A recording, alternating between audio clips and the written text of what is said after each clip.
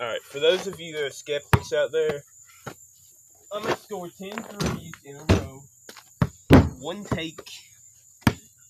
And hopefully I don't mess up. But if I do, then I guess that's Gucci. I don't know. Okay.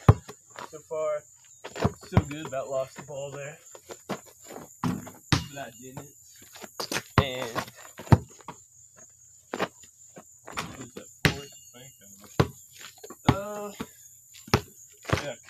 down below.